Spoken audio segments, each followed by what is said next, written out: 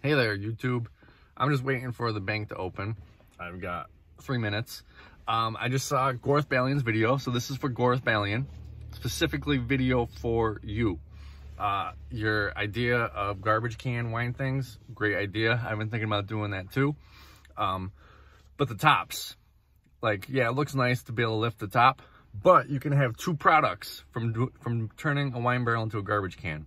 Just cut the top off entirely, put the garbage can in there, still looks nice.